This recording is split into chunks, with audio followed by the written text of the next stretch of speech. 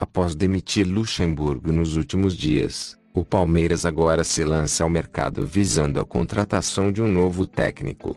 Neste momento, por conta das poucas opções, o mercado brasileiro é visto como a segunda alternativa e um nome estrangeiro é visto como a principal prioridade. Miguel Ángel Ramírez, do Independiente Del Valle, do Equador, é o preferido do presidente Maurício Gagliotti. Em entrevista coletiva na última sexta-feira, 16, o comandante foi questionado sobre um possível acerto com o Verdão e se esquivou, salientando que a situação é complexa, já que ainda possui vínculo vigente com o Del Valle até dezembro de 2021. Na imprensa brasileira, o treinador ficou marcado após a goleada diante do Flamengo, pela Libertadores, por 5 a 0, no dia 17 de setembro. Sei que o clube interessado tem que falar com o Independiente e veremos. É muito complexo. Isso também é uma coisa muito complexa, comentou.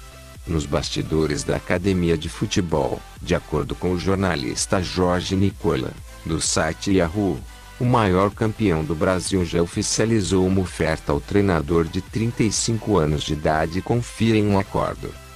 Na última sexta-feira, 16, o palestra apresentou uma proposta de 100 mil dólares mensais, cerca de 564 mil reais na cotação atual pelo comandante. O valor seria o dobro que ele recebe no time equatoriano, já que por lá fatura 40 mil dólares cerca de 225 mil reais. Ainda segundo o jornalista, Ramírez teria gostado dos números e do projeto apresentado pelo Alviverde. No entanto, a dificuldade em bater o martelo fica por conta de um acerto com o Del Valle.